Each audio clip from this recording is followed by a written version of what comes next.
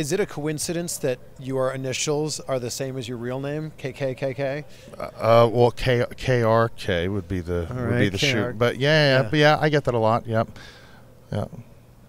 That's that's just some like was that was that uh, by design from the start? Well, Kevin Kross initially was uh, sort of a when we were when we were putting ideas together about uh, character presentation when I first got started. I was thinking about things that Chans or fan, Chans.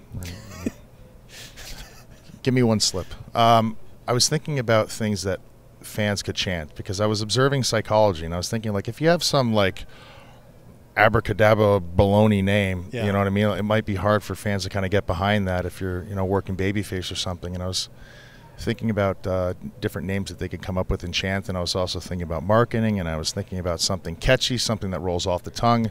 Literally, Kevin Kross just came to me, and um, I just thought it was an easy name to remember, and um, I just wanted to kind of play off that direction for a while, and then. Kevin Kross became Killer Kross literally from uh, different things that happened in the ring. I think it was around the time I had wrestled Shane Douglas. We did sort of like an ECW rules style match.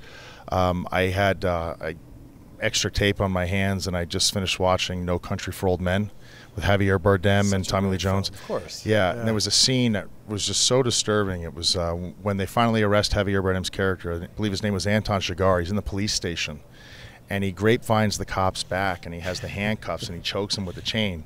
So I had overtaped my hands that night, and I figured a great way to go home would be to unravel the tape and do that That's exact good. spot Yeah. and people were chanting uh, Killer Kross, and that kind of just followed me for a couple months. And I was like, that's also got a ring to it, and it's very character driven, and I could draw a lot out of that. So the fans are calling me that for months. So I was like, well, my name is Killer Kross now. I might as well, just like all the other monikers and stuff, I might as well embrace it. And it's been a godsend. It's been awesome. Hey, it's Chris, and thank you so much for checking out this video on my CVV Clips channel. If you haven't subscribed yet, I'd be so grateful if you could do that right now. Don't worry, the main channel is not going anywhere. We've got full, in-depth interviews on the Chris Van Vliet channel. CVV Clips is for exactly that, clips from those longer interviews.